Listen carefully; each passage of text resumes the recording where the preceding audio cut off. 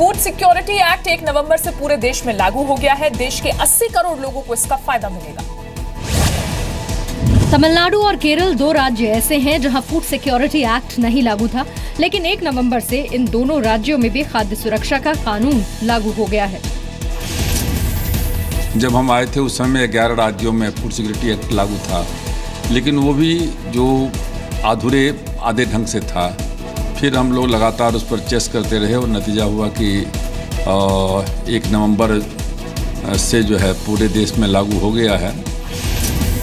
खाद्य सुरक्षा कानून 2013 में यूपीए शासनकाल में पास हुआ था। एनडीए सरकार ने इसे पूरे देश में लागू किया। खाद्य सुरक्षा कानून के तहत बीपीएल परिवार के हर व्यक्ति को हर महीने पाँच किलो अनाज, एक रुपए से लेकर तीन रुपए के हिसाब से दिया जाता है। खाद्य सुरक्षा कानून के तहत सब्सिडी पर हर महीने सरकार ग्यारह हज़ार सात सौ छब्बीस करोड़ रुपए खर्च करती है, यानी साल में एक लाख चालीस हज़ार सात सौ करोड़ रुपए।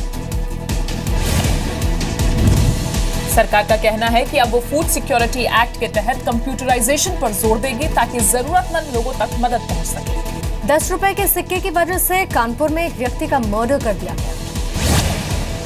मामला कानपुर देहात के डेरापुर इलाके का है। हाईवे पर बने कृष्णा ढाबा में एक ट्रक ड्राइवर महेंद्र पाल खाना खाने के लिए रुका। उसका बिल आया एक सौ सात रूपए। उसने सौ रूपए का एक नोट और दस रूपए का सिक्का ढाबा वाले को दिया। लेकिन ढाबा मालिक ने सिक्का लेने से इनकार कर दिया। इसी को लेकर झगड़ा बढ़ा। ढाबे में काम कर रहे लोगों ने महेंद्र पर लाठी डंडों से हमला शुरू कर दिया।